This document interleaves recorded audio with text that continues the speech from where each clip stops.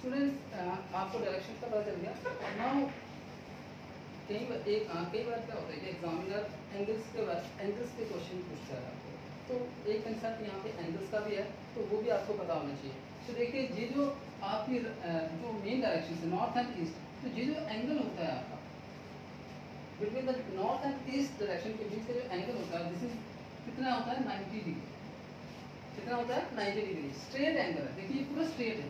तो straight angle कितना degree होता है? नब्बे डिग्री का होता है। नाइन्टी डिग्री का होता है। ये आप मैथमेटिक्स में भी पढ़ते हैं। ठीक है?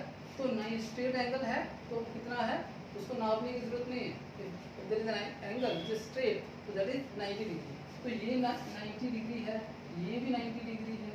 ठीक है? सो ये ये जो एंगल है, ये भी नाइन्टी डिग्री है एंड ये भी कितना है? नाइन्टी तो ये जो पूरा सर्कल है, ये पूरा, ये जो पूरा सर्कल होता है सर्कल जो होता है, ये पूरा एंगल कितना होता है? ये पूरा होता है आपका 360 डिग्री तो ये पूरा सर्कल जो एंगल होता है पूरा, ये कितना होता है? 360 डिग्री ठीक है? इतना आपको पता होना चाहिए। तो एक होता है आपका सेमी सर्कल देखिए, अगर यहाँ से कोई बंदा यहाँ से फ्रॉम हेयर तो यहाँ आता है, ये इज़ योर सेमी सर्कल यहाँ से देखिएगा इज़ योर सेमी सर्कल तो ये जो एंगल होता है this is equal to 180 degree कितना? 180 डिग्री बिकॉज़ 360 का हाफ़ कितना होता है? 180 क्योंकि ये semi circle semi means half और सर्कल मीन्स तो आपको पता ही है तो सेमी सर्कल तो ये जो एंगल होता है दैट इज़ 180 डिग्री तो इतना आपको पता होना चाहिए। तो इसके ऊपर भी एग्जामिनर आपको क्वेश्चन पूछता है। और इसमें एक कुछ कंसेप्ट है क्लॉकवाइज एंड एंटी क्लॉकवाइज क्या है? क्लॉकवाइज और ये बहुत सिंपल सा कंसेप्ट है, ये सब बच्चों को पता होगा। जो बच्चे नए हैं, उनके लिए हेल्पफुल है ये।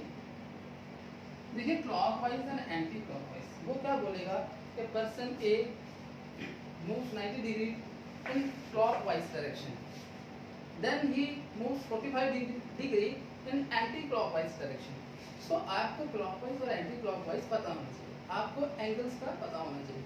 Then you are able to move otherwise आपको पता ही नहीं है नाइन्टी कितना होता है फोर्टी फाइव कितना होता है क्लॉकवाइज क्या होता है एंटी क्लॉकवाइज क्या होता है then you are not able to move आप मूव नहीं कर सकते। सो देखिए क्लॉकवाइज क्लॉक क्लॉकवाइज मतलब कि जैसे घड़ी चलती है, वैसे चलना। जिस डायरेक्शन में घड़ी चलती है, उसी डायरेक्शन में चलना है। तो यू नो दैट घड़ी कैसे चलती है? तो हमेशा आपको पता है, घड़ी हमेशा इस तरीके से चलती है? ऐसे। घड़ी कैसे चलती है? ऐसे चलती है। So this is clockwise direction this is clockwise direction and anti clockwise means कि घड़ी की अपोजिट डायरेक्शन में चलना। एंटी चलना।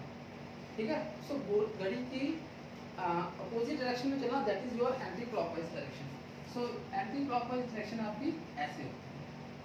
ठीक है? तो this is your anti clockwise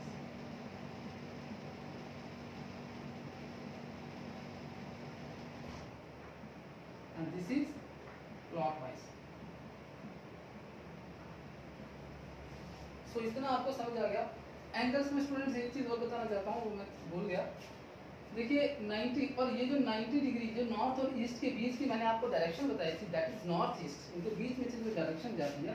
that is north east देखिए ये जो मैंने बोला था आपको this is the north east direction तो ये जो एंगल इतना एंगल है ये हाफ़ ये इसके बीच में है this is the centre of north and east this is in the centre of north and east तो ये जो इतना है, ये हाफ़ है 90 डिग्री का।